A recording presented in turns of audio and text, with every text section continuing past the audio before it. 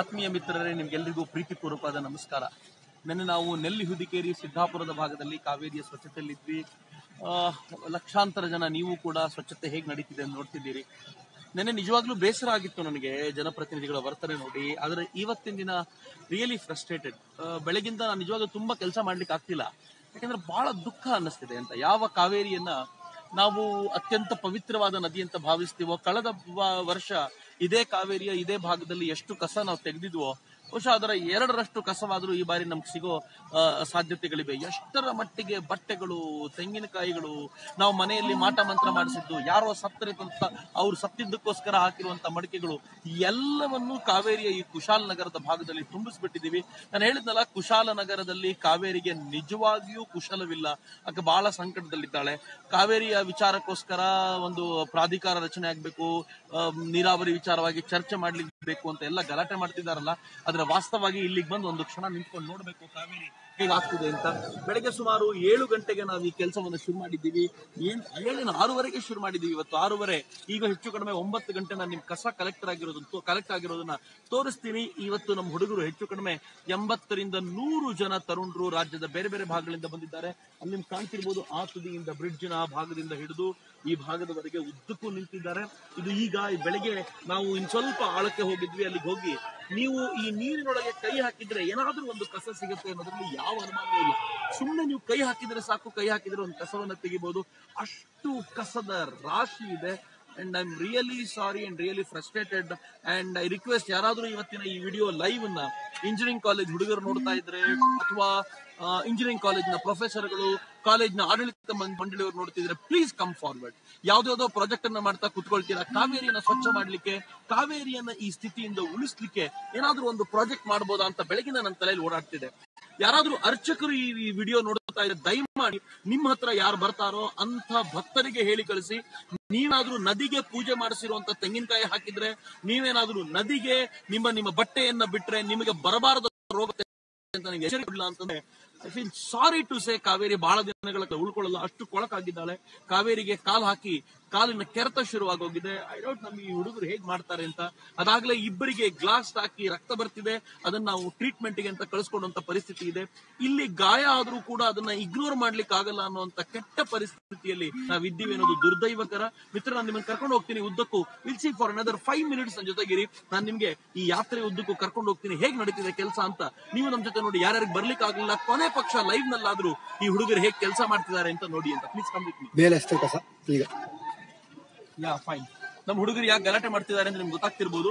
ಈ ಬ್ರಿಡ್ಜ್ ಏನಿದೆಯಲ್ಲ ಈ ಬ್ರಿಡ್ಜ್ನಿಂದ ಆ ಕಡೆ ಹೋಗಿ ಬರ್ಬೇಕಾದ್ರೆ ಅಲ್ಲಿ ಕಸದ ಬ್ಯಾಗ್ ಏನ್ ಮನೆಯಿಂದ ತಗೊಂಡ್ ಬರ್ತಾರೆ, ಅದನ್ನ ಹಾಗಾಗಿ ಎಸೆದ್ ಬಿಟ್ಟು ಅಲ್ಲಿಂದ ಹೋಗ್ತಾರೆ. ಈಗ ಕೆಲಸ ಮಾಡ್ತಾ ಇರೋದು ನೋಡಿಯೂ ಕೂಡ ಎಸೆದು ಹೋಗುವಂತ ಜನ ಇದ್ದಾರಲ್ಲ, ಇವ್ರು ಯಾರು ಸಾಮಾನ್ಯರಲ್ಲ. ಇವರೆಲ್ಲರೂ ಕಾರುಗಳಲ್ಲಿ ಬರ್ತಾರೆ ಎಸ್ದಾರೆ ನಿಮ್ಮ ನಿಮ್ಮ, ನೀವು ತಗೊಂಡಿರುವಂತ ಎಜುಕೇಶನ್ಗೆ ನಾಚಿಕೆ ಆಗಬೇಕು ಅಂತ. ನೀವು ಇಷ್ಟು ಎಜುಕೇಶನ್ ಪಡ್ಕೊಂಡಿದ್ದೀರಿ, ಮನೆಗೆ ಮಿನರಲ್ ವಾಟರ್ ಬರೋದು ನಿಜ ಇರ್ಬೋದು. ಆದ್ರೆ ನೀವು ತೆಗೆದುಕೊಂಡಿರೋ ಎಜುಕೇಶನ್ ಇಂದ ಕೋಟ್ಯಂತರ ಜನರಿಗೆ ಕುಡಿಲಿಕ್ಕೆ ಆಗ್ಬೋದಾಗಿರೋ ನೀರಿನಲ್ಲಿ ಕಸ ಎಸಿತಾರಲ್ಲ, ಯಾವ ತರದ ಎಜುಕೇಶನ್ ಸಿಕ್ಕಿದೆ? ಯಾವ ತರ ನಮ್ಮನ್ನೆಲ್ಲ ಎಜುಕೇಟೆಡ್ ಅಂತ ಕರಿಬೇಕು ಅಂತ ಅರ್ಥ ಆಗಲ್ಲ. ಅಫ್ಕೋರ್ಸ್ ನೀವು ಯಾವತ್ತೋ ಹಾಕ್ತಿರೋ ಒಪ್ಕೊಳ್ಬಹುದು ಆದ್ರೆ ಇಷ್ಟು ದೊಡ್ಡ ಸಂಖ್ಯೆಯಲ್ಲಿ ಜನ ಕಾವೇರಿಯನ್ನ ಕ್ಲೀನ್ ಮಾಡ್ತಾ ಇರಬೇಕಾದಾಗ ಇದೇ ನೀವೇ ಹಾಕಿರುವಂತ ಕಸವನ್ನ ಕ್ಲೀನ್ ಮಾಡಬೇಕಾದಾಗ ಅಲ್ಲಿ ಬಂದು ನಿಂತು ಮತ್ತೆ ಕಸ ಎಸೆಯುವಂತ ಅತ್ಯಂತ ಕೆಟ್ಟ ಬುದ್ಧಿ ನಮಗೆ ಬಂದಿದೆಯಲ್ಲ? ಇದು ಬಹಳ ದುರದೃಷ್ಟಕರ ಅಂತ ನನಗೆ ಅನೇಕ ಬಾರಿ ಅನ್ಸುತ್ತೆ. ನಾನು ನಿಮ್ಗೆ ಒಂದ್ಸಲ ನಮ್ಮ ಹುಡುಗರು ಕೆಲಸ ಮಾಡ್ತಿರುವಂತ ರೀತಿ ತೋರಿಸ್ತೀನಿ, ಬನ್ನಿ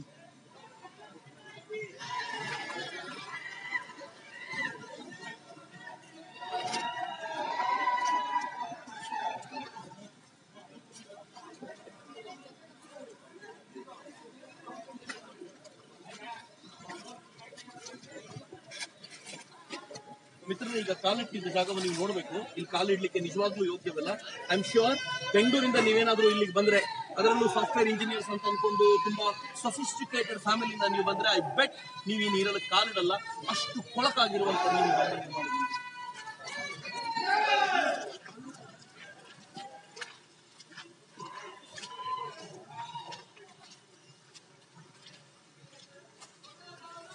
ಆ ತುದಿಯಲ್ಲಿ ನಡ್ಕೊಂಡು ಹೋಗ್ಬೇಕು ಬೆಳಗಿಂದ ಸುಮಾರು ಏಳು ಗಂಟೆಗೆ ಅವರು ಯಾತ್ರೆ ನಡ್ಕೊಂಡು ಹೋಗ್ಲಿಕ್ಕೆ ಕೆಲಸ ಮಾಡ್ಲಿಕ್ಕೆ ಶುರು ಮಾಡಿದ್ದು.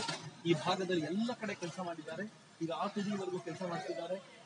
ಹೆಚ್ಚು ಕಡಿಮೆ ಯುವ ಬ್ರಿಗೇಡ್ನ ಎಲ್ಲ ಹುಡುಗರು ಇಲ್ಲಿ ಸೇರ್ಕೊಂಡಿದ್ದೀವಿ. ನಾವು ಸುಮಾರು ಒಂದು ಎಂಬತ್ತು ಜನ ನಾವು ಇವತ್ತಿದ್ದೀವಿ. ಸೊ ಎಲ್ಲರೂ ಸೇರ್ಕೊಂಡು ಇವತ್ತು ಕಾವೇರಿಯ ಕಲ್ಯಾಣಿಯ ಕಾವೇರಿಯ ಟೀಮಿಂದ ಅಲ್ಲಿ ಇದ್ದೀವಿ. ಎಲ್ಲ ಹುಡುಗರು ಬೆಳಗಿಂದ ಕೆಲಸ ಮಾಡ್ತಿದ್ದಾರೆ. ತಿಂಡಿ ಆಗಲಿಲ್ಲ. ಪ್ರಾಬ್ಲಿಂದ ಅರ್ಧ ಮುಕ್ಕಾಲು ಗಂಟೆ ತಿಂಡಿ ಆಗ್ಬೋದು. ತಿಂಡಿ ಆದ ನಂತರ ಒಂದು ದೊಡ್ಡ ಕೆಲಸ ಇದೆ.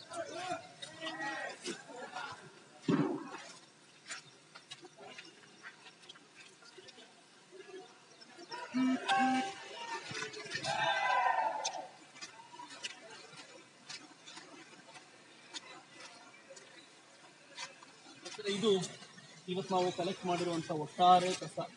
ಬಹುಶಃ ನನ್ಗನ್ಸುತ್ತೆ ಒಂದು ಏಳೆಂಟು ಟ್ರ್ಯಾಕ್ಟರಿಗಾಗುವಷ್ಟು ಆಗುವಷ್ಟು ಕಸವನ್ನಾದ್ರೂ ಇವತ್ತು ಕಲೆಕ್ಟ್ ಮಾಡಿದ್ದೀವಿ. ಇದು ಒಂದು ಅಂದಾಜಿನ ಪ್ರಕಾರ ಟೆನ್ ಪರ್ಸೆಂಟ್ ಮಾತ್ರ ಆಗಿದ್ದಿರ್ಬೋದು. ಅದಕ್ಕಿಂತ ಕಡಿಮೆ ಅಂತೂ ಆಗ್ಲಿಕ್ಕಿಲ್ಲ.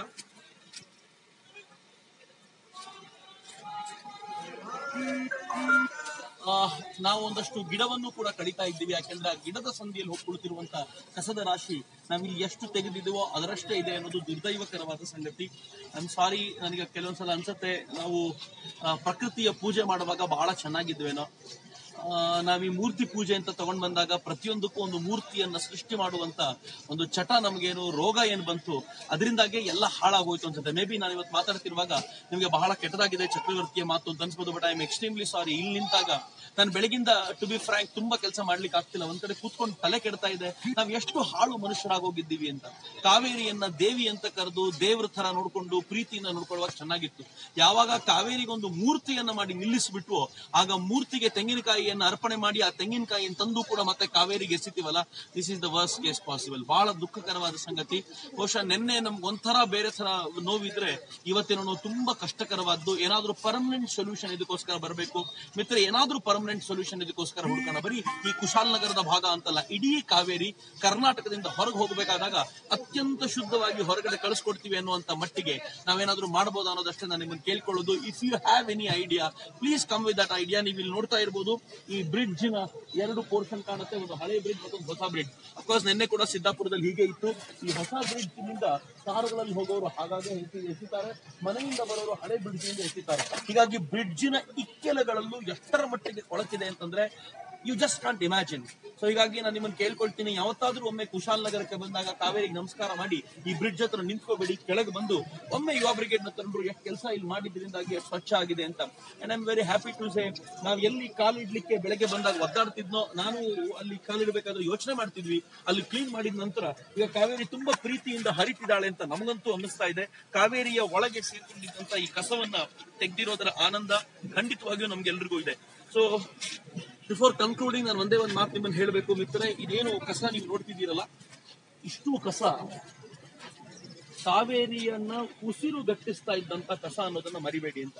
ಕಾವೇರಿಯ ಒಳಗೆ ಸಿಕ್ಕಾಕೊಂಡಾಗ ಉಸಿರಾಡ್ಲಿಕ್ಕಾಗದೆ ಎದುಸಿರು ಬಿಡುತ್ತಾ ಕಾವೇರಿ ಬದುಕಬೇಕು, ಸಾಯ್ಬೇಕು ಅನ್ನೋಂತ ಆಲೋಚನೆಗಳಿದ್ದಲ್ಲ ಆ ಕಸವನ್ನ ತೆಗೆದು ನಾವು ಪೂರ್ತಿ ತೆಗೆದಿದ್ದೀವಿ ಅಂತ ಖಂಡಿತವಾಗಿಯೂ ಹೇಳಲ್ಲ. ಎಷ್ಟು ಸಾಧ್ಯವೋ ಅಷ್ಟೊಂದು ತೆಗ್ದಿರೋದ್ರ ಪರಿಣಾಮ ಅವಳು ಪ್ರೀತಿಯಿಂದ ಉಸಿರಾಡ್ತಾ ಇರೋದು ಖಂಡಿತವಾಗಿಯೂ ನಮ್ಗಂತೂ ಕಾಣ್ತಾ ಇದೆ. ಎನಿ ಆಫ್ ನಾವು ಇಷ್ಟೇ ಮಾಡ್ಲಿಕ್ಕೆ ಸಾಧ್ಯ ಇರೋದು, ಆದರೆ ಇದಕ್ಕೊಂದು ಪರ್ಮನೆಂಟ್ ಸೊಲ್ಯೂಷನ್ ಹುಡುಕ್ಬೇಕು. ಯಾರಾದ್ರೂ ಅಲ್ಲಿ ಕಾರ್ಪೊರೇಟ್ ವರ್ಕರ್ಸ್ ಇದ್ರೆ, ಯಾರಾದ್ರೂ ಅಲ್ಲಿ ಇಂಜಿನಿಯರಿಂಗ್ ಕಾಲೇಜ್ನ ಹುಡುಗರಿದ್ರೆ ಯಾರಾದ್ರೂ ಅಲ್ಲಿ ಇಂಜಿನಿಯರಿಂಗ್ ಕಾಲೇಜ್ ನಡೆಸುವಂತವ್ರು ಇದ್ರೆ ಯಾರಾದ್ರೂ ಈ ಲೈವ್ ನೋಡ್ತಿರೋದ್ರಲ್ಲಿ ಹೊಸ ಹೊಸ ಐಡಿಯಾಸ್ ಇದ್ದವರಿದ್ರೆ, ಇಡೀ ಕಾವೇರಿಯನ್ನ ತಲಕಾವೇರಿಯಿಂದ ಹಿಡಿದು ಪೂಂಪು ಪೂಂಪುಹಾರ್ನವರೆಗೆ ಸಾಧ್ಯ ಆಗಲಿಲ್ಲ ಅಂದ್ರೆ ಕೊನೆ ಪಕ್ಷ ನಾವು ಕರ್ನಾಟಕವನ್ನ ದಾಟಿಸುವವರೆಗೆ ಅತ್ಯಂತ ಶುದ್ಧವಾದ ಕಾವೇರಿ ನೀರನ್ನ, ನದಿಯನ್ನ ಮಾಡ್ತೀವಿ ಅಂತ ಒಂದು ಸಂಕಲ್ಪ ಮಾಡೋದಿದ್ರೆ ಪ್ಲೀಸ್ ಜಾಯಿನ್ ಹ್ಯಾಂಡ್ಸ್ ನಾವೆಲ್ಲ ಸೇರಿ ಒಂದು ಹೊಸ ಉಪಾಯವನ್ನ ತೆಗೆದುಕೊಂಡು ಬರೋಣ.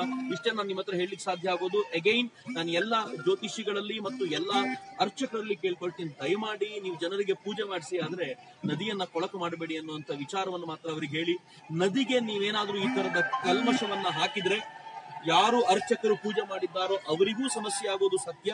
ಎರಡನೇದು ಎರಡನೇದು ಯಾರು ಈ ಪೂಜೆ ಮಾಡಿ ಇಲ್ಲಿಗೆ ಹಾಕ್ತಾರೋ ಅವರಿಗಂತೂ ಖಂಡಿತವಾಗಿಯೂ ಒಳ್ಳೇದಾಗಲ್ಲ. ಹೀಗಾಗಿ ನಾನು ಕಳಕಳಿಯಿಂದ ಕೇಳ್ಕೊಳ್ತೀನಿ. ಫಾರ್ ಗಾಡ್ ಸೇಕ್ ಈ ನದಿಯನ್ನು ಉಳಿಸಿಕೊಡಿ ಅಂತ ಅಷ್ಟೇ ನಿಮ್ಮ ಹತ್ರ ಕೇಳ್ಕೊಳ್ಬಹುದು ಥ್ಯಾಂಕ್ಸ್ ಫಾರ್ ವಾಚಿಂಗ್ ನಾನು ಮತ್ತೆ ನಾಳೆ ರಾಮನಾಥ್ಪುರದಿಂದ ಒಂದು ಐತಿಹಾಸಿಕ ಸ್ಥಳದಿಂದ ನಾವೇನ್ ಮಾಡ್ತಿದೀವಿ ಅನ್ನೋದನ್ನ ನಿಮಗೆ ತೋರಿಸ್ಕೊಡೋ ಪ್ರಯತ್ನ ಮಾಡ್ತೀನಿ. ಅಲ್ಲಿವರೆಗೂ ನಮಸ್ಕಾರ.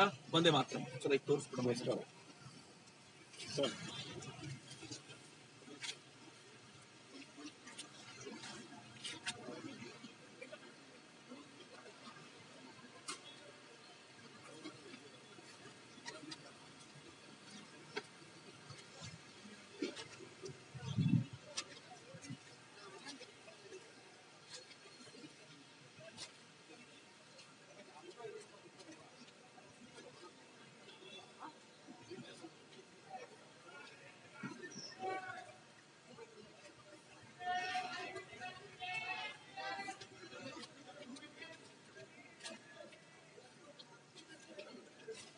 Yeah.